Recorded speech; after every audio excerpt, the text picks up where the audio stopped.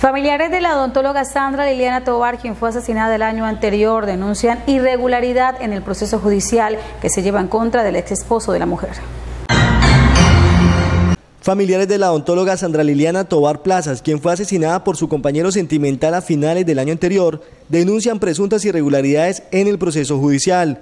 Sí, consideramos que hay manipulación, tenemos más o menos cinco eventos. En tres ocasiones fuimos a hablar con el fiscal personalmente, no nos atendió la última vez, la secretaria de él nos dijo, es que el fiscal no los puede atender porque tiene la agenda copada hasta junio del próximo año.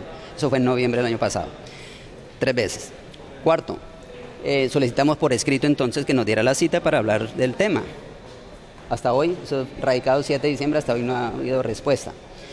Quinto, entonces enviamos otro oficio narrando muy resumido la vida cruel que Lucho le dio a Sandra de golpes, de puños, patadas, insultos, maltrato verbal y hasta la fecha tampoco hemos tenido respuesta.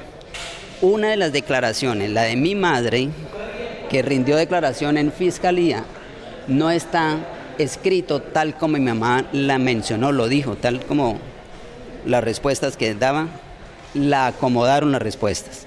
Están acomodadas, están cambiadas. Por lo tanto, ese cambio es beneficiando al señor Luis Alberto Agudelo. Entonces, con esos seis eventos, cualquier persona concluye que eso hay manipulación. Creen que el abogado y familiares del ex esposo estarían detrás de obstaculizar el proceso judicial.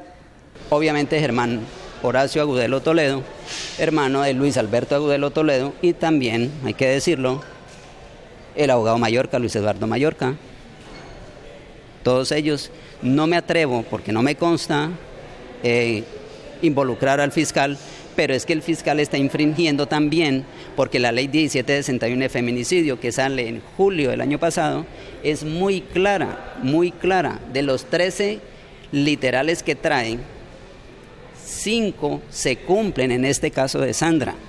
Cinco, casi la mitad, lo cual cualquier abogado, nosotros hemos buscado asesoría en abogados, en fiscales amigos, y todos concluyen, eso es un auténtico feminicidio y es más, es agravado. Uno de los temores de los familiares de la víctima es que su expareja obtenga la libertad en poco tiempo y el crimen quede impune. Próximamente, eh, según le decía nuestro abogado Polanco, Humberto Polanco, los primeros días de marzo, de pronto 7, 8, 9 de marzo, viene la siguiente audiencia de preacuerdo. El abogado de Lucho, el señor Mallorca, Lucho de Luis Alberto Agudelo, que matara a mi hermana, eh, presentó un, preacuerdo al fiscal donde pide 18 años de sentencia. Pero lo que nos han comentado es, Lucho termina confesando que sí, acepta cargos, le reducen a la mitad, quiere decir nueve años. Luego por estudiar y trabajar allá y buen comportamiento salen cuatro años. En los próximos días continuarán las audiencias por este polémico proceso que conmovió a todo el departamento.